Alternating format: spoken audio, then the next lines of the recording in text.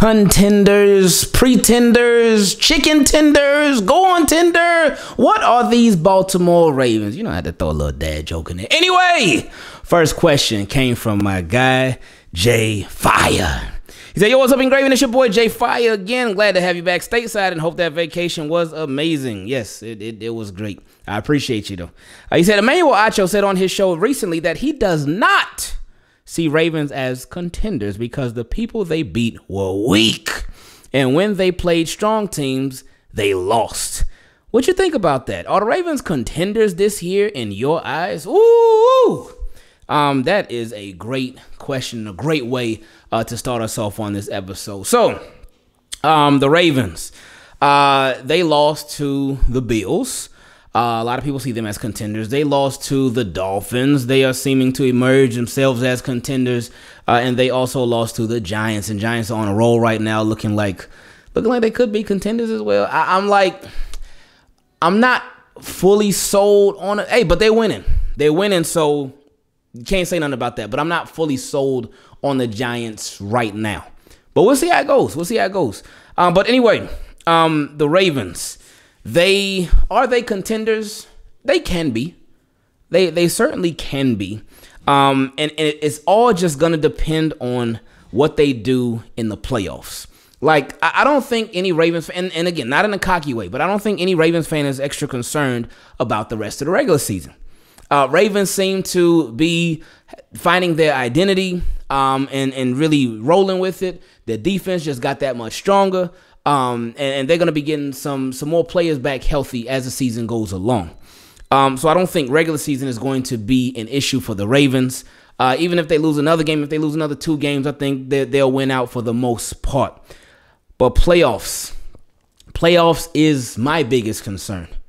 Um, they they had an issue with closing against those really good teams. Now, um, but playoffs are really going to test it playoffs are really going to test whether the Ravens' closing issues are completely fixed. Like completely fixed. And I mean, hopefully the Ravens do get in a position um, to show us that, hey, we can close it out. Because again, like it's, it's been brought up, every single game, Ravens have built up double digit leads against every single opponent. Good opponents, bad opponents, and everybody in between. They've done that. So the fact that they can do that, it's like, hey, okay, hey, we can rock with these guys. But playoffs is the biggest concern. That's where that that's what everybody's like waiting on right now for the Ravens in my eyes. I think that's what everybody's waiting. Like regular season's like, all right, hey, we'll try this out, we'll try that out. We get by, okay, cool. Cause, Cause Ravens have been here before. Ravens have been in this position before where the regular season, they had some little shaky moments or whatnot, but then it's like, oh, okay, whoa, oh, they, oh, they looking a lot better. And then playoffs, they they end up falling flat. So if they are truly contenders, which I think they can be, but they they certainly going to get tested because come playoffs, that's where everybody they try to take away what you do the best. They try to take away what you do best. Ravens, they right now the, well, the way that they built it, philosophy and all that, just run game, run game, run game. Uh, efficiency with the passing game, not volume, but they they bank on efficiency, uh, and then great defense.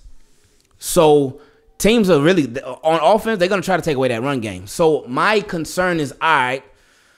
I just don't want to see Ravens put in the same position that they've been put in year after year after year, where it's like, all right, teams sell out, they stop the run game, the passing game is looking like, oh, what do we do now? Who steps up? Who shows out? Because Hollywood ain't there no more. you know, Hollywood come play off time. Hey, Hollywood was good for it, man. Come play like that. That that boy just he don't know nothing but showing out in the playoffs but he's gone. So I'm just that's that's my fear. And Mark Andrews in the playoffs, he's been really quiet. He's been really like really really quiet, and it's like, oof okay. Mark Andrews doesn't have a, a great track record in the playoffs. Hollywood is gone. Rashod Bateman's out for the season, and I mean he never played in the playoffs anyway. But what's it what's it gonna be? That's my big thing moving forward. What's it gonna be when teams are like, all right, Ravens, you y'all ain't running on us. Y'all ain't running on us. What's it gonna be? So, um, it's funny because I was having a conversation uh, with my guy Kevin. Kevin Red. Shout out to him, by the way. Shout out to you and your family too. Your wife, your kids. They they super cool, super cool family. I love them. Um, and we were talking, and we were talking about the offense, and I was saying like, man, with, with the the way that the Ravens they run things, like with the passing game, it, it like has to be perfect. There is so there's like no room for error with the Ravens passing game because the volume is super low. Um, and I told him like that worries me. But he was like, "Hey, but as far as Ravens defense, he said team the, opposing teams, their offense it, it, it, has little room for error because the Ravens their defense is so strong. Oh, that that is a good point.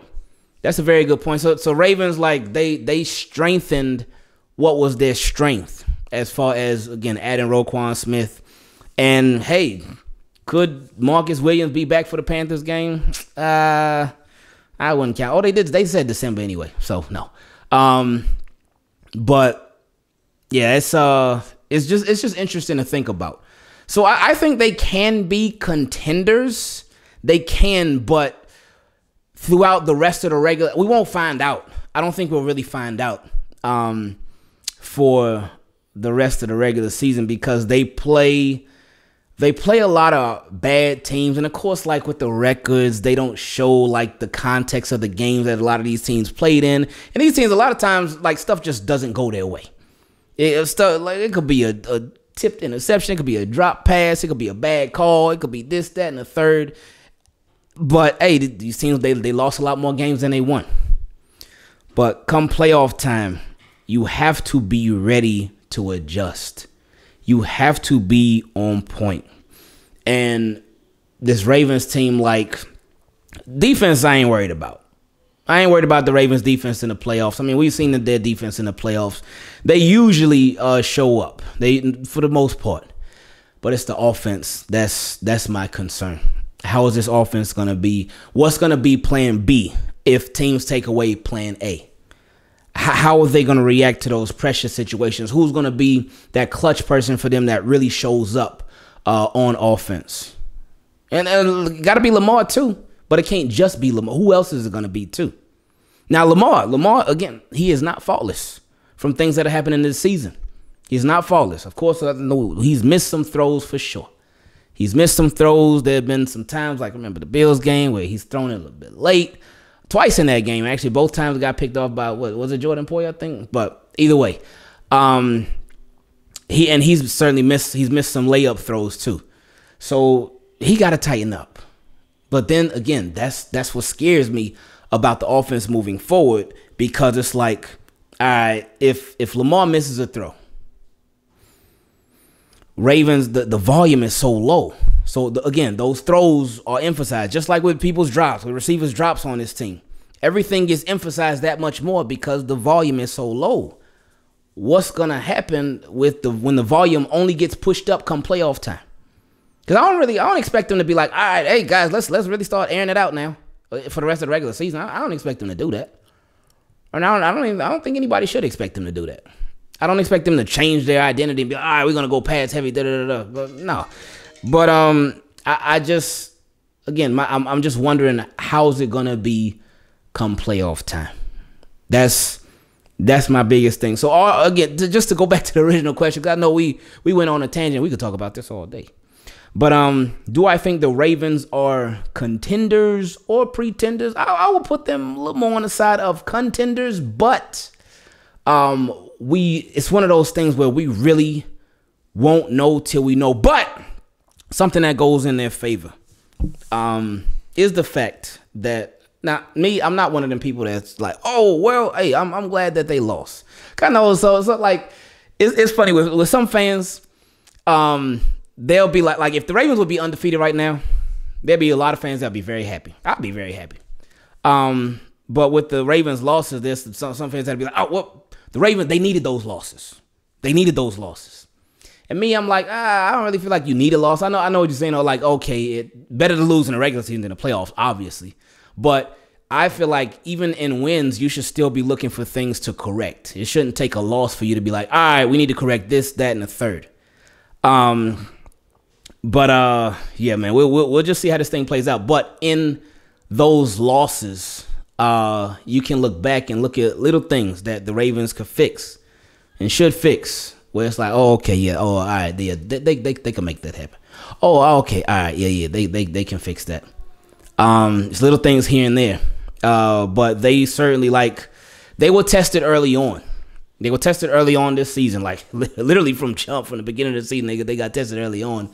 Uh, but and, and, of course, like just because these teams got bad records that the Ravens are going to be going up against, it don't mean that the Ravens won't have their struggles and they won't have their issues and they won't have things that or times where they they just may not look as good. It's gonna happen. Well, hopefully it doesn't happen, but it's most likely gonna happen sometimes. Um, but yeah, playoffs, man. Playoffs is a different animal. Um, and that has been an animal that the Ravens just they have not been able to tame for the most part thus far. So regular season is cool, but playoffs that will really answer the question um, on if the Ravens are really uh, for real. But for now, like they seem like they can be. But again, it's regular season is regular season. We know we we know like going into the season, we said it so many times. We said it so many times that hey, if Lamar Jackson's healthy, the majority of the team healthy and whatnot, Ravens will get into the playoffs. They'll get there. Regular season has for years, regular season has not been an issue. That's not what anybody should be worried about. But playoffs, man, playoffs. So mm, that's when we'll really be able to uh, answer the question. But I, I would say, it, it, based off of this regular season, though, thus far, um, I would put them in the contender category again, simply because of the double digit lead part, simply because of that part, and um, that like again against the Bills, they did it. Against the Dolphins, they did it. Against the Giants, they did it. Like all these teams, like these are Dolphins against Dolphins seven and three, Giants I think seven and two, Bills six and three. Like these are teams with good records, and, and Ravens were up on them. Ravens had opportunities, but I know the Dolphins game. I think they only scored like three points in the second half. The Bills game, I think they only scored three points in the second half. The Giants game, the, the turnovers just got ugly. But this Ravens team now, like if they were playing the football that they're playing right now against those teams, especially with the added Roquan Smith, those games could be flipped. They could be flipped. Um, and especially if uh, Gus Edwards was a big difference too. He was a big difference maker. He didn't play in not one of those games. Gus Edwards did not play in not one of those games. So Ronnie Stanley, he didn't play in the Dolphins game.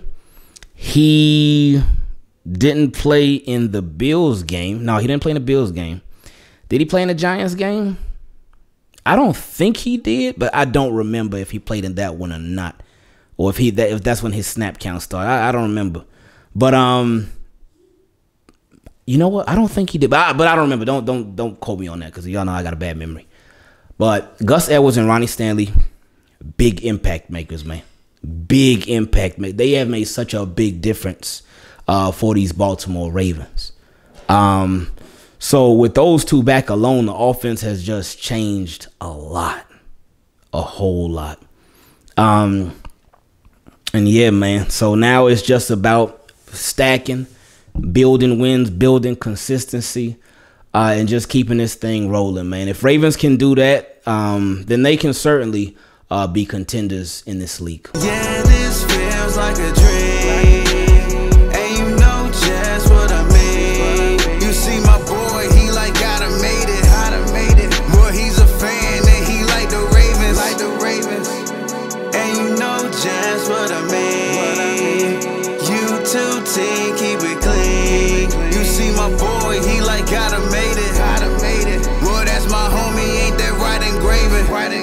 Wow, who knew we could spend like 13, 14 minutes on one question? I did, because y'all know I'd be running my mouth. Anyway, next question came from my guy, Nazarene. And appreciate you being a patron, Nazarene. He said, What's up, big bro? Hope all is well. Everything is great, my man.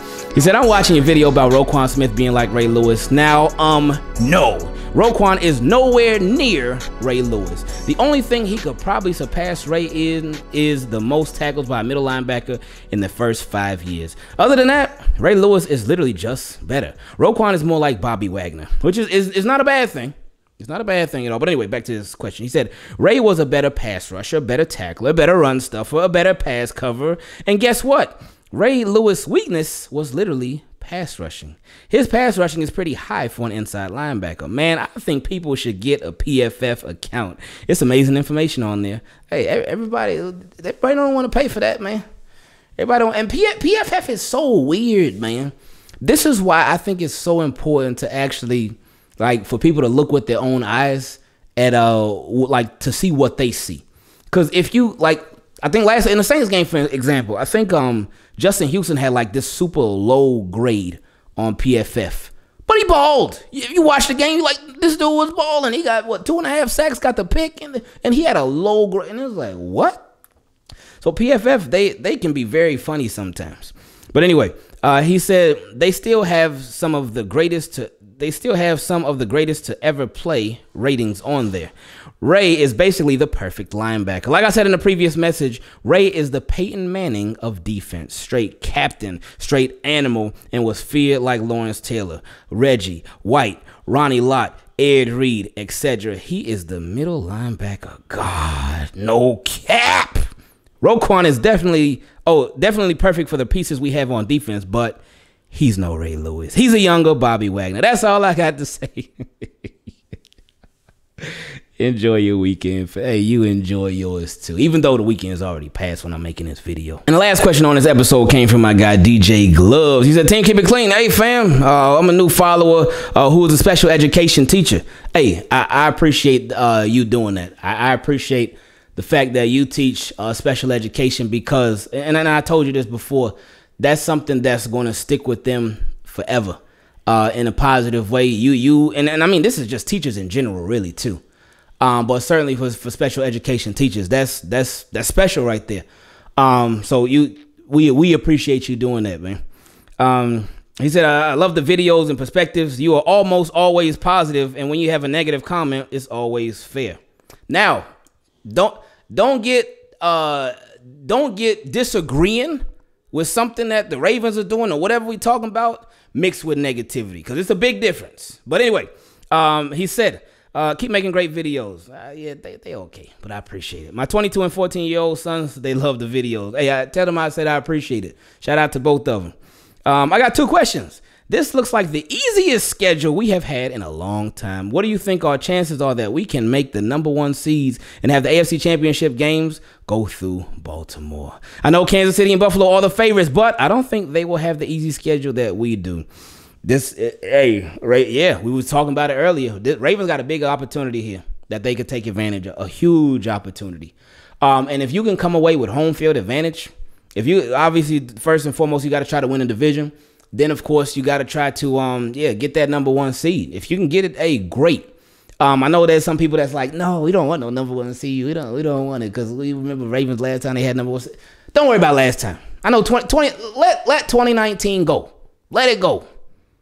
Let it go. And I know they they look back at uh 2012 too and be like, oh, Ravens didn't have number one seed back. Let it go. They get number one seed, great. If they don't, okay, cool, whatever. But number one seed will be great Of course, especially if you like, hey, these referees they be changing stuff, man. Especially if you get a little home cooking and whatnot. I know you ain't gonna complain, but anyway, uh, they yeah they got a big opportunity, man, because their schedule is uh, yeah they literally got the easiest schedule for the rest of the year. So they they they sitting pretty right now. So hopefully they they they bank on that. Oh, get it, M&T Bank on. Anyway, he said, my next question is more of a statement. I like Greg Roman, but I feel like he listens to the media too much and gets in his own head. When we play Ravens football, we win. When he tries to get cute, we end up losing, like with Miami and the Giants. Lamar is Lamar. He isn't Brady, which is fine with me. I love Lamar for being himself. I think he can throw the ball, and I never doubt that. But I want to know if you agree or not. Does Greg Roman get in his own head, and why do you think he does that? It's not always when we are down either. In Tampa, he tried to get cute in the first half, and we took the game over when we finally started playing Ravens football. Our line is built to run the ball. I'm not saying they can't pass block, but even Stanley was one of the best run blockers in his draft. We have an athletic O line built to run. what's your thoughts? Also, thanks again for answering. Hope you're doing great and keep making videos. Uh, give the city something to come together for. Thanks for all you do. Hey, appreciate you. Be more Barry 52. Much love, man. Um, with Greg Roman, he's uh, I mean, he's, he's Greg Roman. He uh, again, not a bad offensive coordinator, but yeah, sometimes it, sometimes he can sort of overcomplicate things. Um, and uh, I mean, the the way I feel about Greg Roman, I, I feel like he is great for um, a young quarterback, maybe even a rookie quarterback, their first like couple of years in the league. But I feel like that that quarterback will be capped as far as what they do, their growth. I, I feel like um, after those first couple years, and it's like, okay, it's it's really it's it's time to move on. It's, it's time to expand. It's time to grow. And I, I just feel like we haven't seen that um, with this offense. So I feel like we haven't seen it as much as we should have uh, with Lamar. Um, so yeah, I, but as far as Greg Roman getting in his own head, does he listen to the media? I know the Ravens they listen to the media, so hey, it could be Greg Roman. That stuff could trickle down to him, obviously, with him with him being an offensive coordinator. We know John Harbaugh listens to the media. He we, because he's he's made several comments over the years, letting us know that he listens to the media.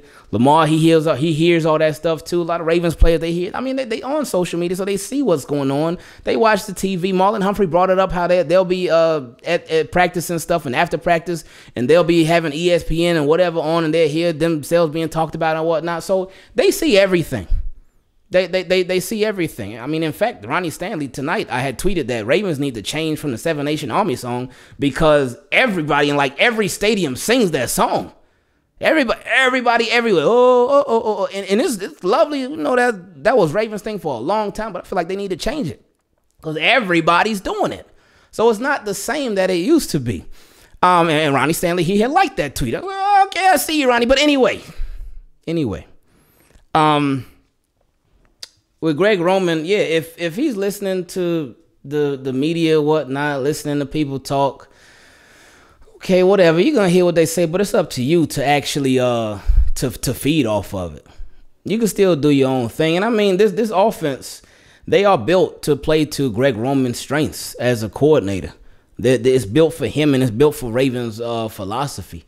Um, so he he just really doesn't have an excuse for anything because it's, it's for him. It's, it's literally for him. It's, it's literally gift wrapped with a big picture of Greg Roman on there smiling. Greg, this is your gift. This is for you. So yeah, man. I, I um sometimes Ravens they, they can overthink some stuff. Um, but it again, it seems like it seem we'll see. It's all about consistency. Cause again, my, my thing, like with Devin Duvernay, one game he'll be hot, he'll be getting the ball, he'll be getting all these carries, he'll be getting these catches and whatnot. Then the next game it's like, oh, silence, nothing. You don't hear nothing from him. It's like, well, hey, what's what's going on? What's what's, what's up with Devin doing it? What happened? And there'll be a lot of inconsistent. And it's like, man, he he's a playmaker. When the ball in his hands, good stuff happens. Um, it'll happen with the run game. The run game will be working, and then they'll come out like pass heavy and stuff. They'll be up and they'll be passing heavy. Like the game, the game will be Ravens will be like two scores up. They'll still be running Lamar what, and it's like, oh, what what are you doing? So I, I just I don't know, and that could be some of Lamar's decision too. Because you know he be deciding sometimes like, hey, look, I'm I'm just about to take off, man. I, am gonna put the game in my hand. I ain't giving it to Drake. I ain't giving it to Gus. I ain't giving it to J.K. I ain't giving it to Justice. I ain't giving it to Micah. Well, even though Mike don't get no hands off handoffs anyway. But anyway, Lamar could be like, look, I ain't giving it to nobody. I'm taking over myself. But um, yeah, man, they just uh just gotta really just not even necessarily simplify stuff, but sometimes you just gotta you, you gotta get out your own head. Um, and you just you really just gotta settle down. Yeah, this feels like a dream. And you know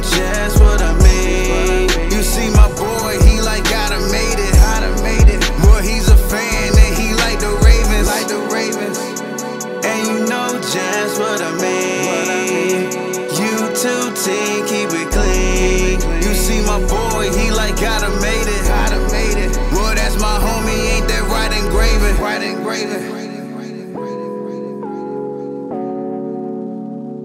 Shout out to Ingraven.